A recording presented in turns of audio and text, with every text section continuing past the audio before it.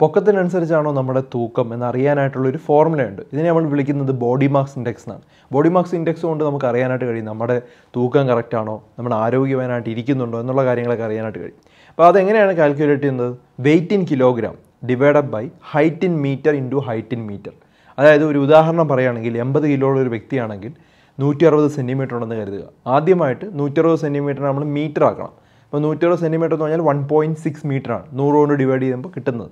അപ്പം ഫോർമുല എന്തായി? Eighty divided by one point six into one point six ഇത് ഏകദേശം മുപ്പത്തി ഒന്ന് പോയിന്റ് രണ്ട് അഞ്ച് എന്തോ വരും.